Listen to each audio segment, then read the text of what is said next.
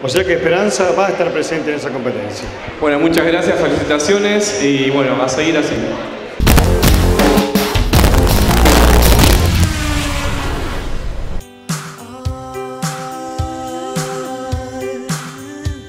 Aromas que me quiero llevar, silencios que prefiero callar. Rugido de Motores cierra un año intenso y absolutamente positivo. Con esfuerzo hemos conseguido cumplir las expectativas planteadas para este segundo año del ciclo. Y dentro de los reconocimientos a nuestra tarea debemos nombrar la obtención del colonizador, la nominación de la Asociación Santafesina de Televisión por Cable y no menos importante es la nominación como uno de los mejores programas deportivos del país.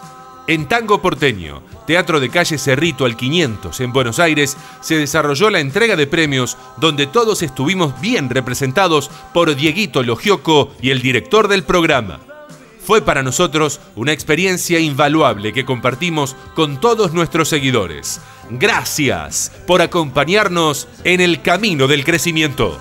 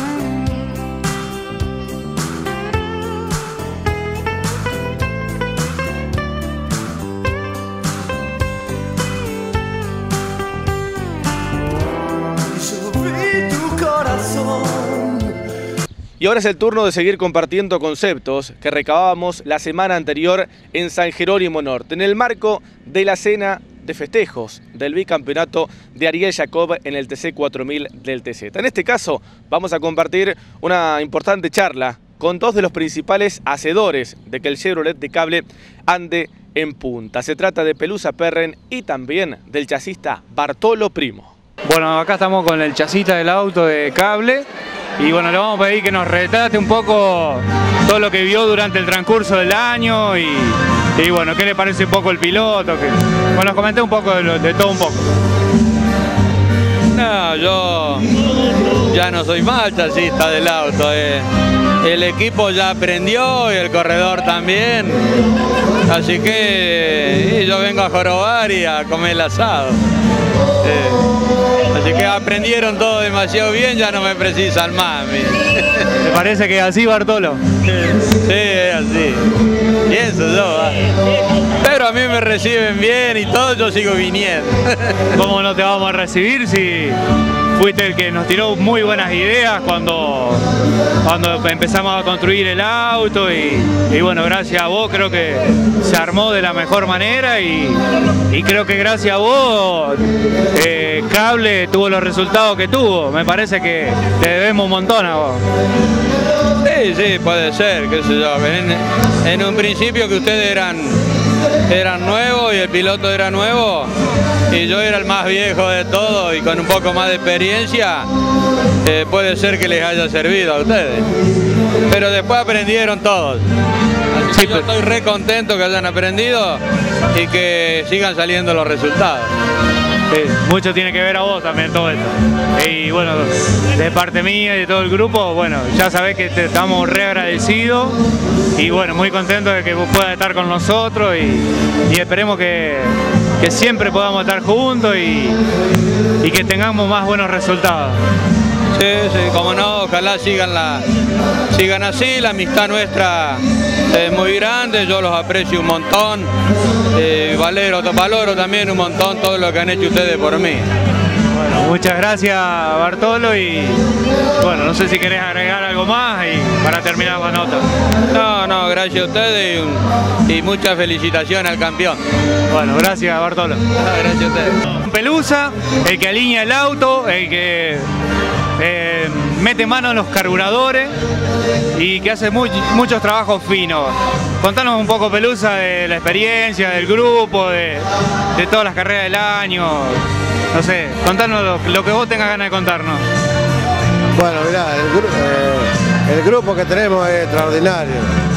Gracias a eso llegamos, llegamos a, a dos campeonatos y este, por el, el- el gran eh, esfuerzo que tiene cada, cada chico en hacer cada cosa, cada uno lo que tiene que hacer y se pone gana, eh, mucho amor en el auto hasta se le pone música al auto para que, para que, para que entienda lo que que uno entienda, hace. ¿eh? La verdad que es bárbaro.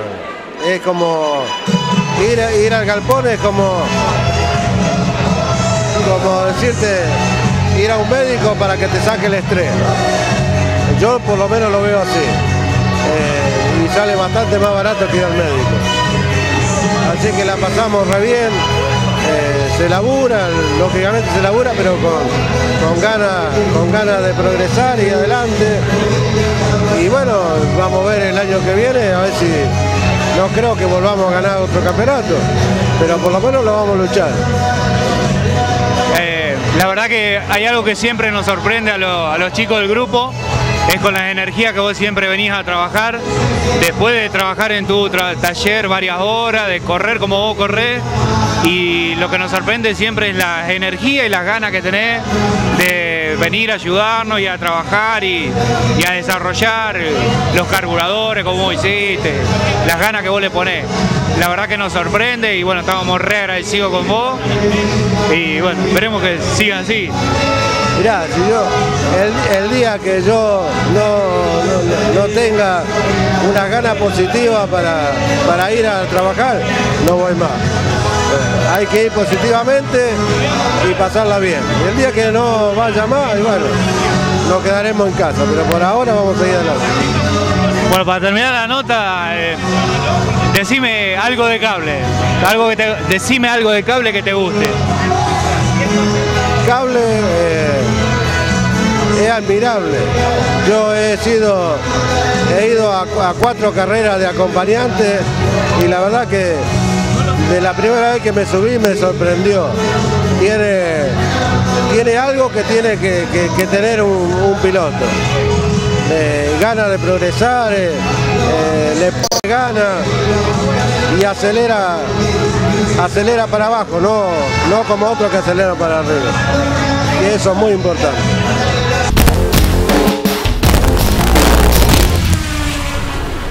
En el polideportivo del Club Sarmiento de Humboldt, Hernán Breschbull despidió el año junto a familiares, amigos, colaboradores y mecánicos. La chopeada fue a modo de agradecimiento, luego de cerrarse la primera temporada de Nancho en el turismo santafesino de asfalto.